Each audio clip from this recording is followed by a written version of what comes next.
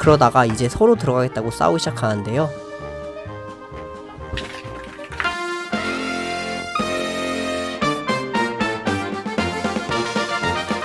미어캣 랜드 여러분 안녕. 여러분들은 어릴 적에 많은 공들이 있는 볼풀장에서 놀아본 적이 있으신가요? 사진 보면은 아실 거예요. 이런 곳에서요.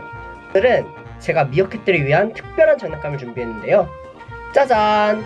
바로 애완동물용 볼풀장입니다. 과연 미어캣들은 여기서 잘 놀 수 있을지 한번 설치하러 가보겠습니다. Let's go! 미어캣 랜드 볼풀장을 뜯겠습니다. 생각보다 크기는 작습니다. 자, 여기에 준비해온 공을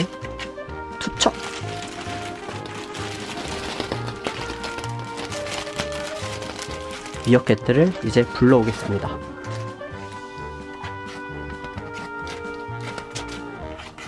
새로 생긴 물건 밖에서 긁어보는 맹세.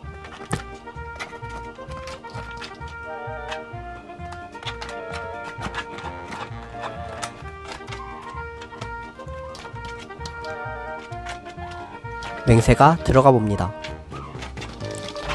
공에 호기심을 가지고 잘 놀고 있네요. 그러다가 이제 서로 들어가겠다고 싸우기 시작하는데요.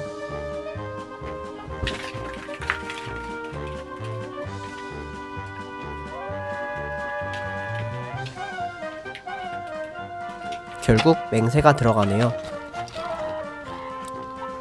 랑새는 입구로 안 들어가고 자꾸 점프해서 들어가려고 합니다. 재미가 없는지 갑자기 카메라에 호기심을 가지는 랑새.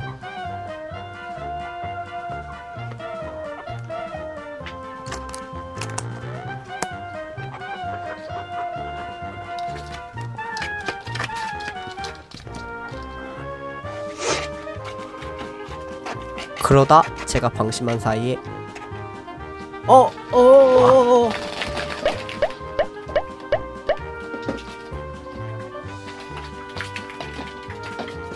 방을 볼풀장으로 만드는 게 목적이었던 랑새. 목적을 달성했는지 더 신나게 놉니다.